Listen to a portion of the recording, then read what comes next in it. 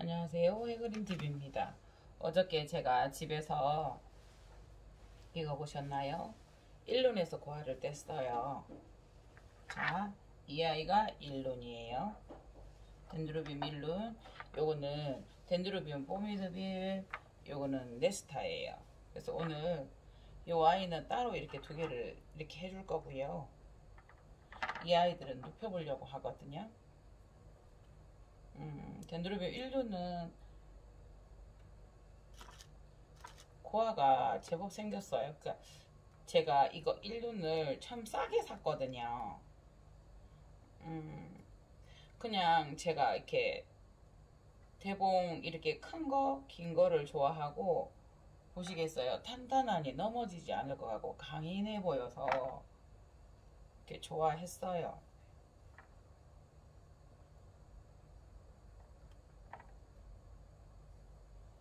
이렇게 보면 대부분 이게 꼭 짜도 네, 이렇게 물이 나와요. 이렇게 해서 이렇게 뿌리가 보면 잠시 벗길게요. 이 아이는 그래도 그냥 곱게 펴졌어요. 쉽게 말하면 한 방향으로. 그래서 그냥 이렇게 옆으로 해줘도 충분히 감싸져요. 그렇지요? 그런데 이 아이는 이렇게 벌어졌어요. 어, 어떻게 보면 균형이 잘 잡혔는데 그렇게 그때는 이제 여기에다가 굳이 이 아이들을 막 누르지 말고요. 이렇게 하나를 받쳐준 다음에 받쳐주었잖아요. 그 다음에 이 옆뿌리를 싹 이렇게 누르듯이 지그시 모아서 수태로 이렇게 감싸주시면 됩니다.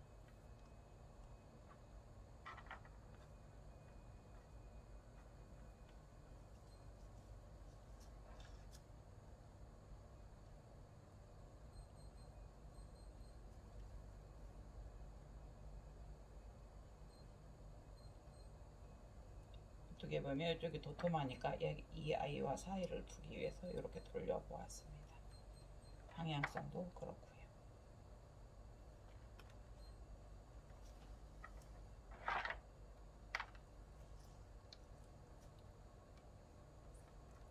이게 저면급수나 수태를 충분히 불리라고 하는데 충분히 불렸는데 보시겠어요?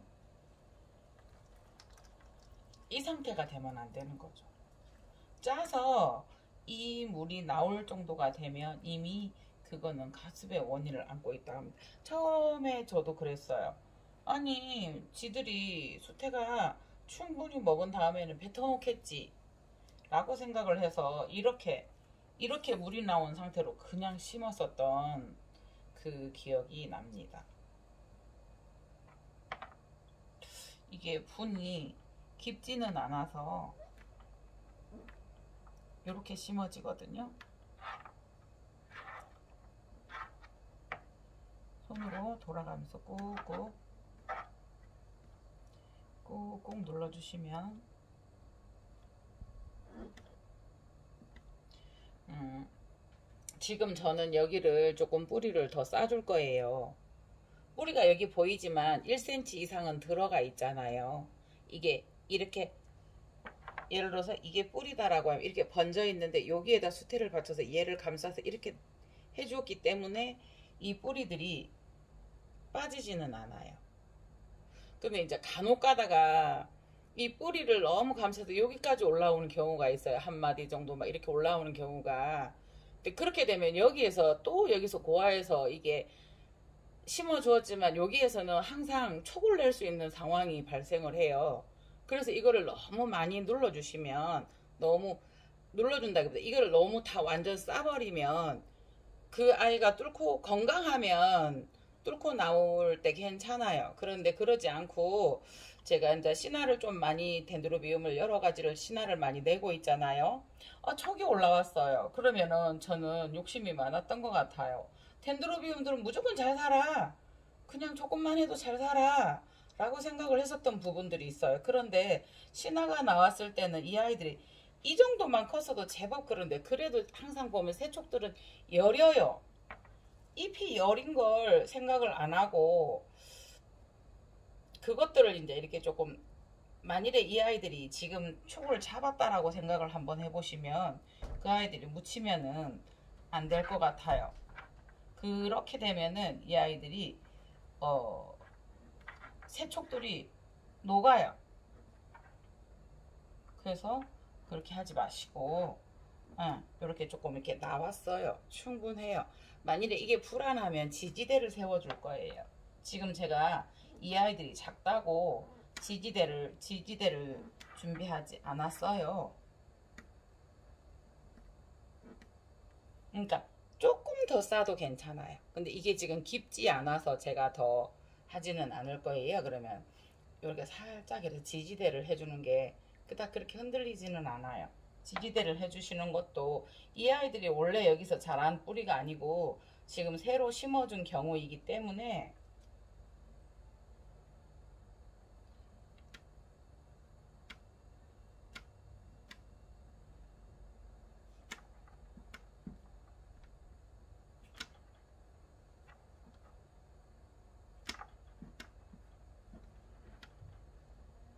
이렇게 심어 보았습니다. 일론이에요. 그리고 이 아이들은 제가 여기다 눕혀줄 거예요. 음, 대부분 어, 지금은 엄청 수태가 많이 말라요. 그래서 이 아이들은 조금 촉촉하다 싶을 정도로 이렇게 해서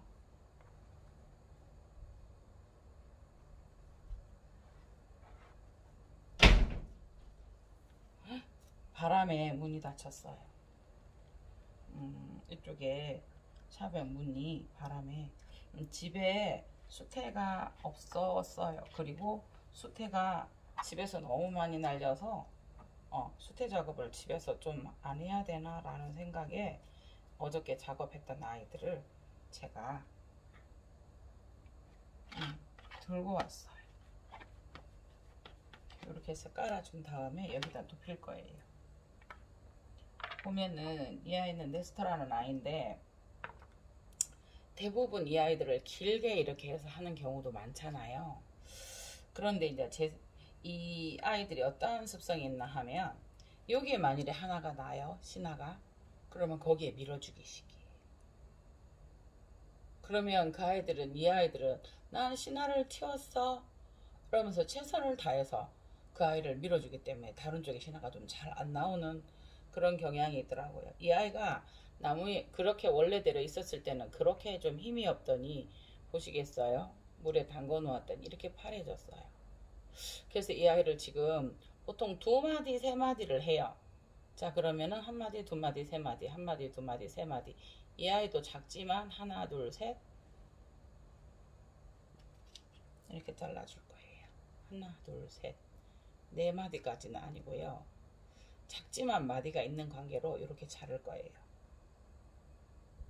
여기를 자를까요? 이렇게 해서 이 아이는 네스터예요. 그런데 제가 이 작업을 하다가 보니까 자꾸 잊어버리더라고요. 잘 안 써붙여서. 그래서 요거는 포미드빌, 덴드로비움 포미드빌 하나, 둘, 세 마디, 하나, 둘, 세 마디. 그래서 이 아이도 하나, 두 마디 정도 해도 괜찮아요. 그런데 하나, 둘, 셋, 응. 하나, 둘, 셋.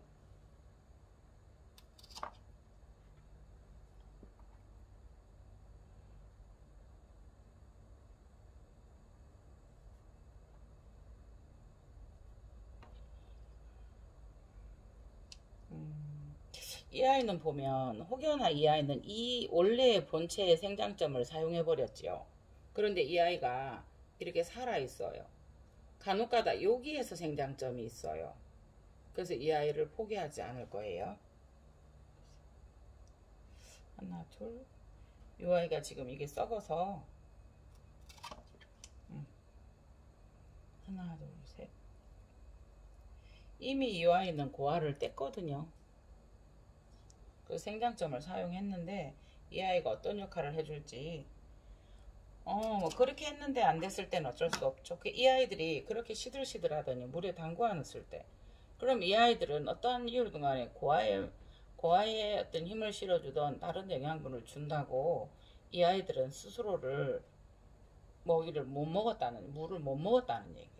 동물처럼 먹이라고 설명을 하는데, 그래서 이 아이를 세 개를 이렇게 잘라 보았어요.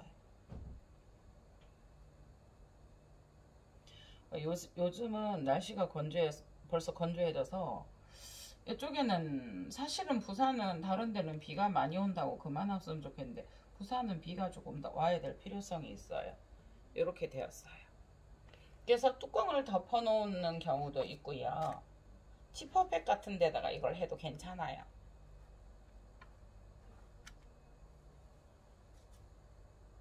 그러나 제일 중요한 것은 일단은 이렇게 보면 농장 같은 데서는 예, 이거를 덮지를 않아요. 이런 식으로까지는 안 해요. 그런데 저희는 농장이 아니다가 보니 어떻게 돼요? 습도 유지를 저희가 할 수 있는 저는 장치가 없어요. 가정이잖아요. 잘 말라요. 그래서 제가 이제 아너스몸도 지금 싹을 많이 내고 있는데 이 방법이 제일 나은 것 같아요.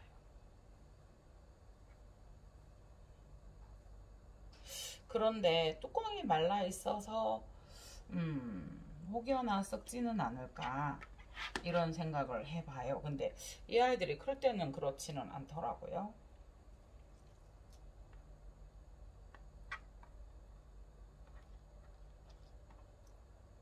음, 수태가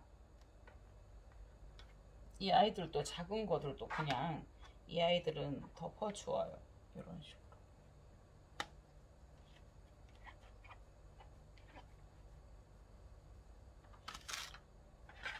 이렇게 해봤어요. 음, 집에 이렇게 그냥 큰 프라, 일회용 플라스틱 그릇에 이렇게 해놓은 거 아시죠? 보면 처음에는 이 아이들이 이게 가능한 게 처음에 초를 낼 때는 무조건 정말 습해야 되고 따뜻해야 되고 그래서 지금 이런 식으로 해서 뚜껑을 덮어 놓은 경우가 그렇지만 조금 크고 나면 그렇게 되면 잘못하면 물러요. 그래서 이렇게 수태가 이렇게 묻은 거예요. 이렇게 지금 이렇게 해서 이렇게 두고 이 아이는 지주대를 이렇게 심어 음, 해줘야 될 것 같아요. 지두대는 제가 지금 음, 안 가져왔어요. 그래서 오늘은 이렇게 두 가지를 한번 해 보았습니다. 이상 해그린 TV였습니다. 좋은 한 주 되세요.